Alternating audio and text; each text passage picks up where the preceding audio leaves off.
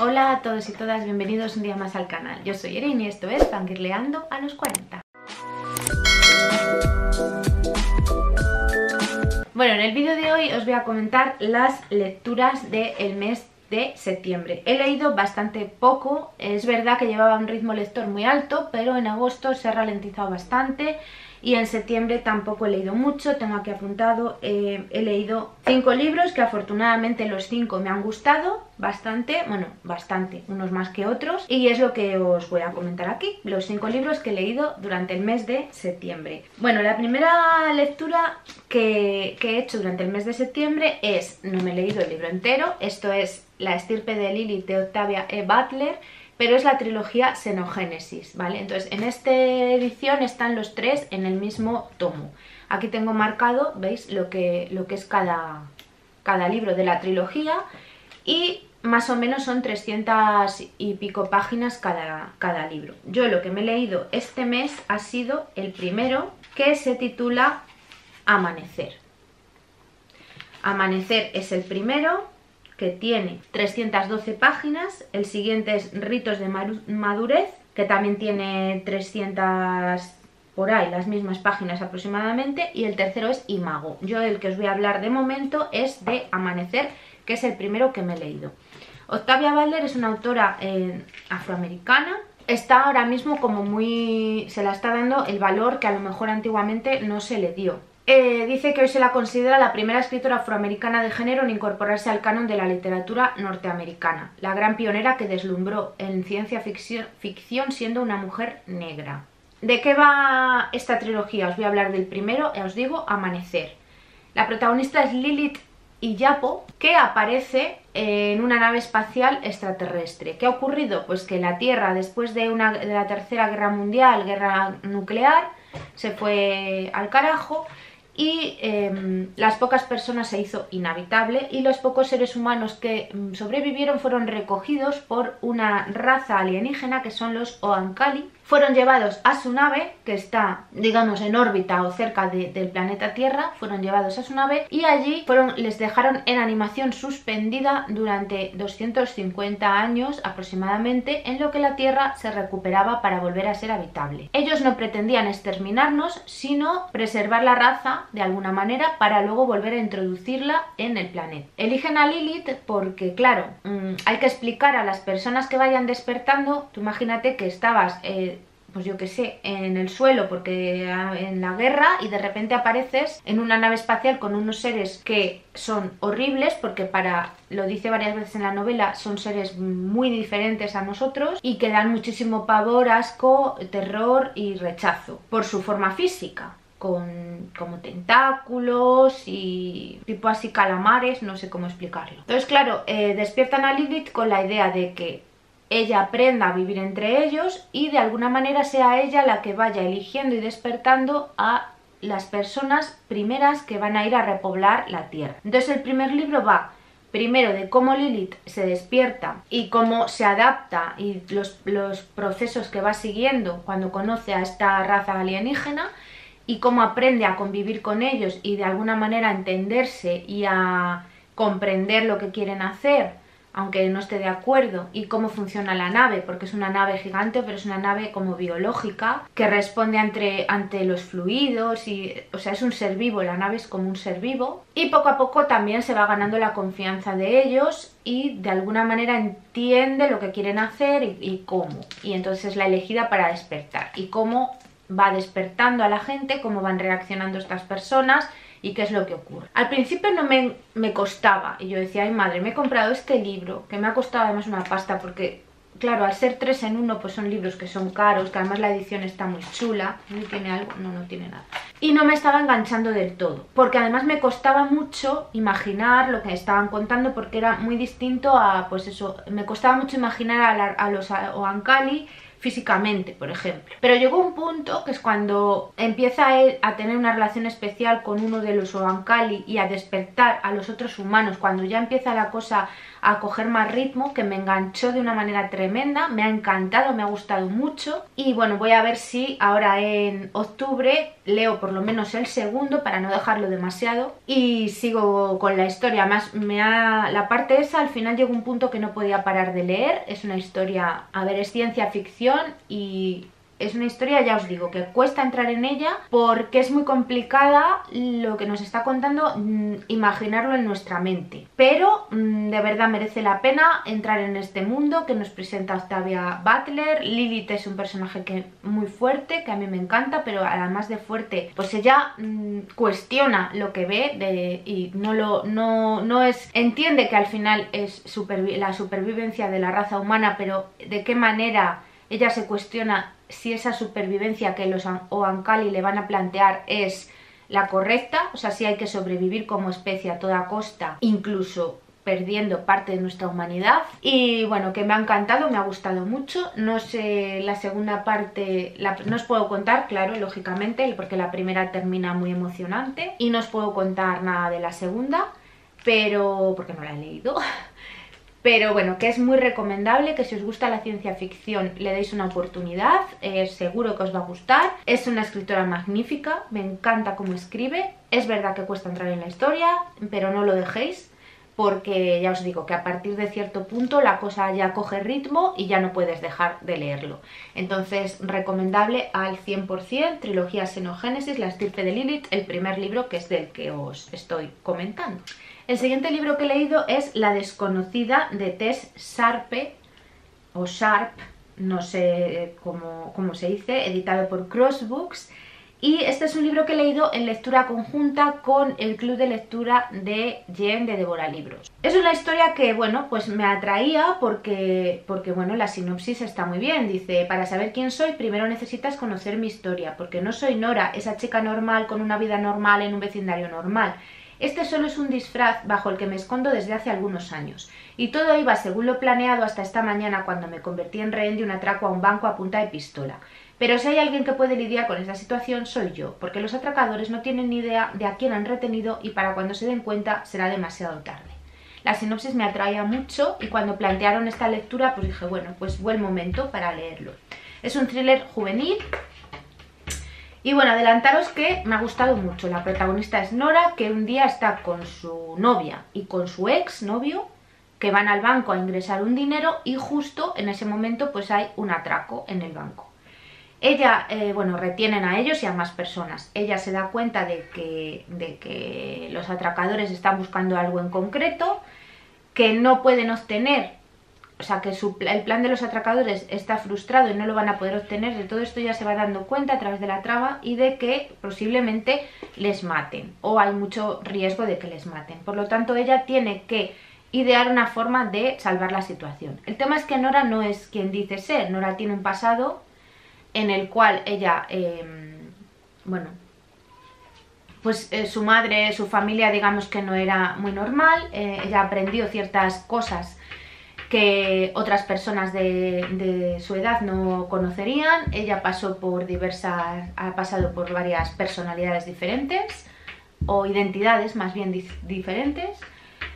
Bueno, y, ella va a utilizar todos estos conocimientos que le ha dado la vida mm, y su infancia, a través de toda su infancia, para salir de esta situación tan tremenda y salvar a su, a su sus amigos, a su novia y a la gente que, hay allí en el, en el, banco. Entonces el libro va alternando, va explicándonos por un lado eh, la acción en el banco y por otro lado la historia de Nora a través de toda su periplo vital.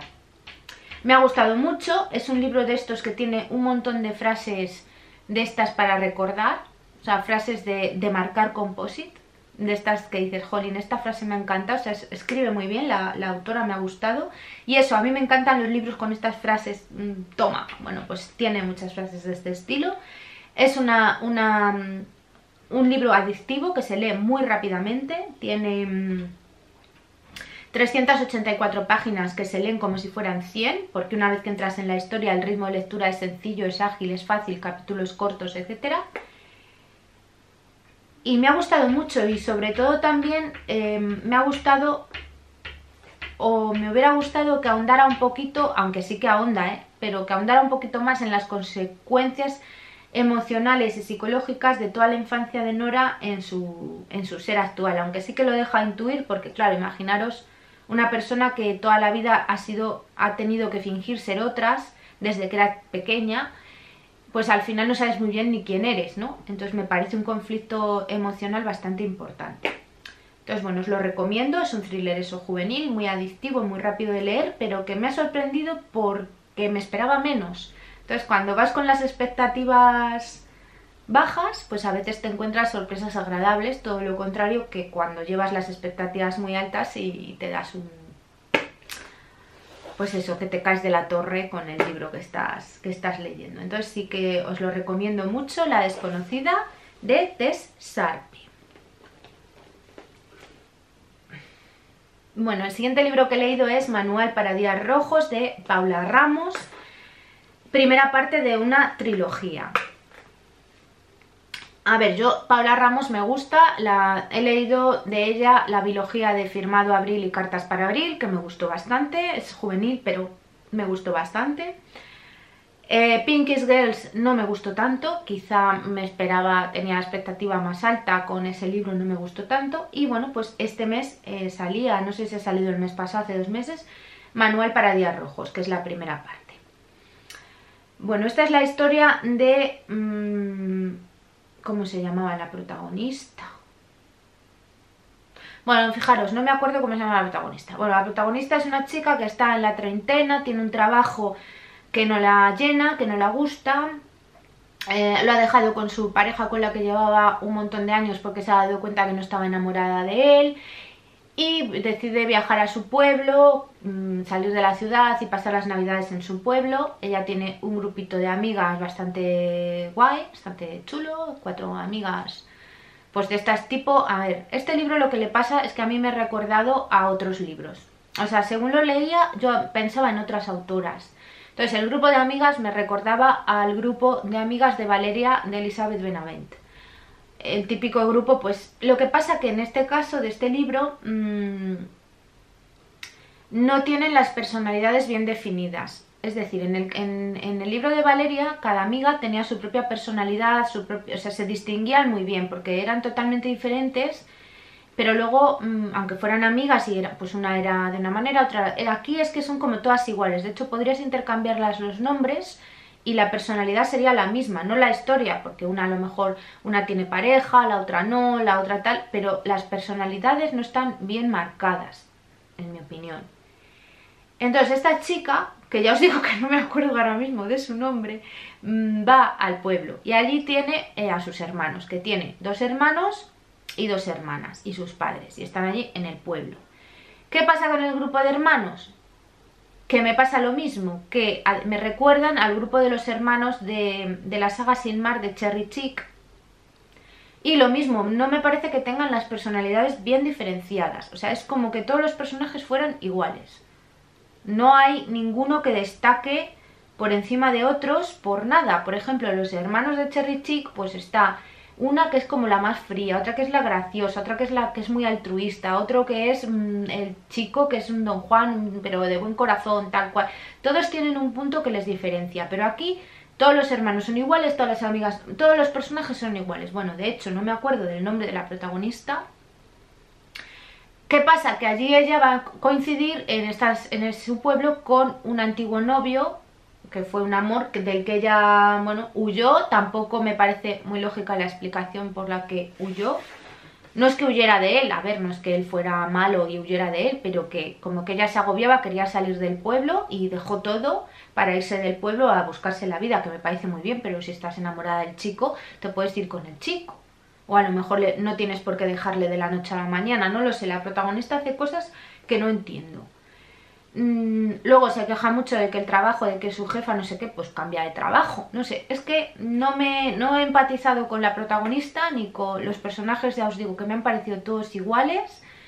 Lo se lee rápido porque bueno, pues es una historia que engancha y Paula Ramos escribe bien y a mí yo, otros libros me han gustado, pero este como que le falta algo, como que tiene demasiados se parece demasiado a libros de otros autores y eso no es bueno porque ella tiene que tener un estilo propio y unos personajes más potentes. La verdad que me he quedado un poco plof con este libro. Sobre todo por eso, porque no hay ningún personaje, incluso la historia de amor, sí que tampoco la historia de pasión, atracción o tal, tampoco es potente. No lo sé, no sé, no sé qué le falla al libro. Yo creo que le falla eh, lo que es la psicología de los personajes, que se diferencian más unos de otros, porque no empatizas y con la protagonista no empatizas. A mí en ciertos momentos me caía mal y además no entendía las cosas que hace. Mm, luego hay una, algo ahí que, que, ocurre, que los hermanos tienen que trazar un plan para que sus padres no vendan la casa y tal y cual, y eso se resuelve de una manera totalmente... que no tiene ningún sentido. No sé, si lo lees sabréis a lo que me refiero, que tampoco quiero hacer muchos spoilers. Y nada, pues que un poco decepcionante, manual para días rojos, no sé, no creo que continúe leyendo la trilogía, no lo sé, tendré que mirar si va de, supongo que irá de alguna de las amigas de, de, la protagonista. Son tres, pero bueno, que, que una pena porque sí que me adentré en este libro con muchas ganas, pero a ver, no es que me arrepiente de haberlo leído, no, no, puedo decir que sea un libro que malo es, porque no es mal libro, pero que es demasiado parecido a, a otros. Entonces le resta yo creo muchos puntos. Y luego me quedan dos thrillers que comentaros. El primero que, he oído, porque este es el he escuchado en audiolibro, en Audible, es el primero que, escucho entero, porque ya os he comentado que a mí los audiolibros me gustan, pero me dan mucho sueño. Entonces yo me pongo un audiolibro y es como que me cuentan un cuento y me quedo dormida. Entonces eh, está, estoy mil años para escuchar uno, ¿vale? Es una cosas que me pasan a mí. Sé lo que quieres de Samantha, Samantha Bailey. Es un thriller y la verdad que este sí que me ha atrapado mucho. En audiolibro está bastante bien narrado. Y bueno, la protagonista, hay dos protagonistas principales. Una es Morgan, Morgan un día está en el metro y de repente se le acerca a una mujer que ya no conoce de nada, le da a su bebé y le dice cuida del bebé o algo así o no dejes que le pase nada malo tal y se suicida, se tira a las vías del tren. Entonces Morgan se queda como flipando de quién es esta señora, la detienen porque claro, eh, ella aparece con el bebé de la otra en brazos, la otra se ha suicidado y hay que ver si ella la empujó o si la robó el bebé o qué pasa aquí. Ella además está pasando un mal momento porque su propio marido, el marido de Morgan, se ha suicidado por un tema que era un estafador y entonces se, ha suicidado y a Morgan digamos que la gente no, le ha, no ha creído que, que ya no supiera nada de las estafas de su marido, que ya no sabía nada y, bueno, le han dado muchos amigos la espalda, incluso su propia madre pues no confía en que, en que ella no supiera nada de, las estafas. Por un lado está la historia de Morgan y por otro está la historia de Nicole, que es la chica, eh, la mamá del bebé que se suicidó y que nos va a ir contando quién era, porque era una mujer de éxito, era una ejecutiva y propietaria de una empresa de ropa muy exitosa, que la ha llevado a ese estado, a ese estado de, locura para llegar a hacer esto. Entonces aquí pues eh, se va enredando la historia, vamos a conocer partes de la vida de Nicole, toda la historia de cómo ella va cada vez más metiéndose en una, en una burbuja de, de paranoia, de paranoia no solo paranoia de que se lo invente, sino también con una parte también de, realidad. Y bueno, pues la verdad que me ha gustado mucho, es un thriller muy adictivo que se lee muy, bueno, se escucha en este caso, se lee, se escucha muy bien. Eh, eh, va alternando los capítulos de Morgan con los de Nicole y las dos partes son muy interesantes porque Morgan lo que va a hacer va a ser intentar averiguar quién era Nicole y por qué ha llegado a este punto, entonces vamos viendo las dos, los dos puntos de vista tanto temporales como, como de, personajes. Y bueno, pues un thriller que está muy bien, me ha sorprendido para bien y bueno, habrá que estar pendientes de cosas que publique esta autora. Y bueno, el último libro que he leído es también un thriller que es El mentiroso de Miquel Santiago.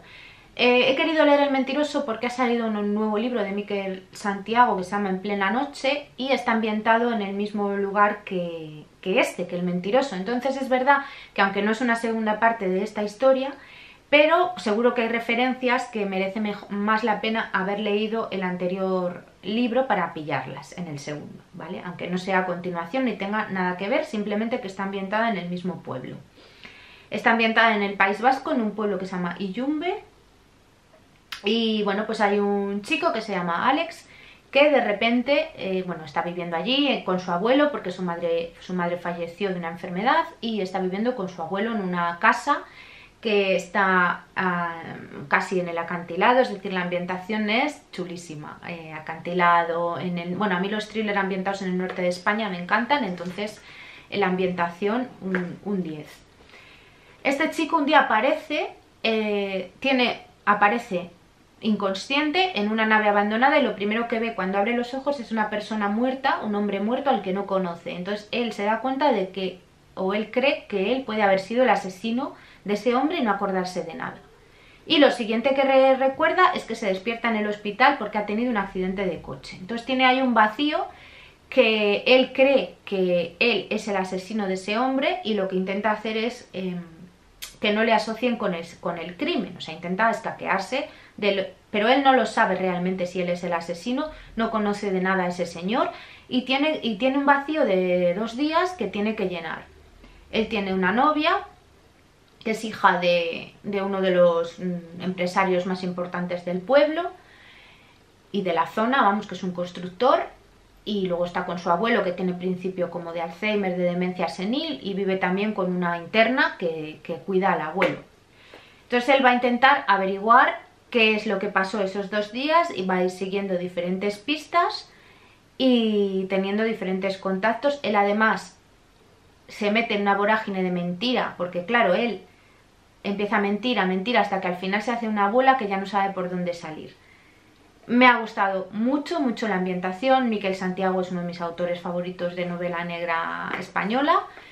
Mm, me encanta, me encanta cómo ambienta las novelas. A mí en un thriller para mí la ambientación es importantísima y en este pequeño pueblo y yumbe, pues eso que os digo, acantilados, tormentas, agua fría, una casa al borde del acantilado llena de grietas, es una, historia, que un thriller que es eh, muy adictivo, que está muy bien, que además mm, él va recordando poco a poco todo lo que ha pasado, pero a la vez se ve envuelto en la trama, hay que averiguar también quién es el hombre muerto, em, por qué le han asesinado, quién le ha asesinado, quién le, eh, por qué estaba él en esa fábrica abandonada con un golpe en la cabeza, también desmayado. Ha sido el asesino de la otra persona la que le ha golpeado a él. Entonces él poco a poco va recordando y a la vez, pues eso, vamos, eh, va investigando mm, viejos secretos que van apareciendo en el pueblo y que están relacionados con el, con el asesinato y con, la, y con la trama. Son cuatro, me parece que son casi 500 páginas, pero se lee súper bien, súper fácil y engancha mucho. Y bueno, deseando leer eh, su siguiente novela ambientada en Iyumbe, que es En plena noche, que de hecho lo tengo planificado, a ver si para octubre lo puedo leer. Y nada más, estos son los libros que he leído en, en septiembre, a ver si aumento un poco el ritmo, porque no sé, estoy un poco leyendo de poco para lo que, a ver, no, no poco, porque llevo 75 libros este año, pero es porque los primeros meses he leído mucho. Incluso estaba haciendo dos vídeos por mes porque se me acumulaban muchas lecturas, pero llevo dos meses un poquito más baja, ya sabéis que esto va por épocas. Y bueno, espero que os haya gustado, que os animéis a leer alguno de los libros, la verdad que los cinco están bien. El de Manual para Días Rojos es el que menos me ha gustado, mm, por eso que os he comentado, pero, pero bueno, que, que también está bien, es decir, no me arrepiento de haberlo leído para nada. Y nada más, espero que tengáis buena semana y hasta el próximo vídeo. Chao.